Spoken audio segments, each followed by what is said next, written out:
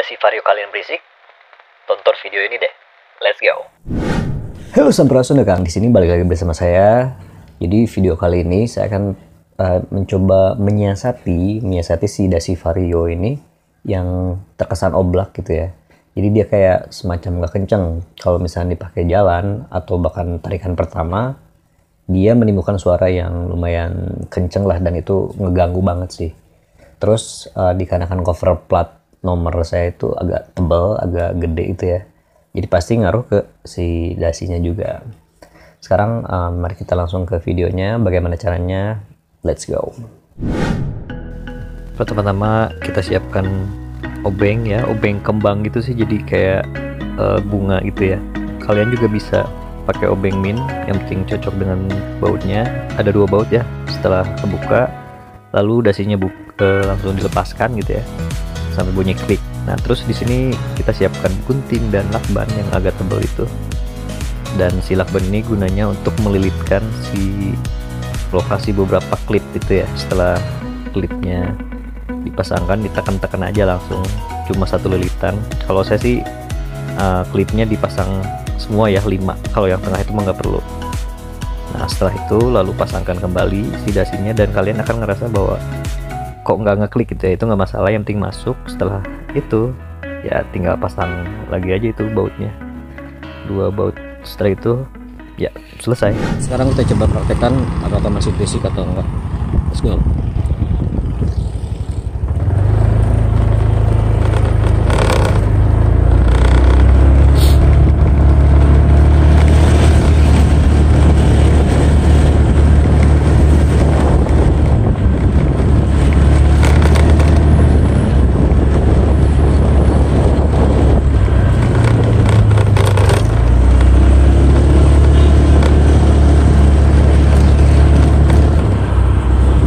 udah agak berkurang di sini ada berisik sedikit sih dikarenakan si cover plat nomor. Karena kan saya pakai yang gede ya.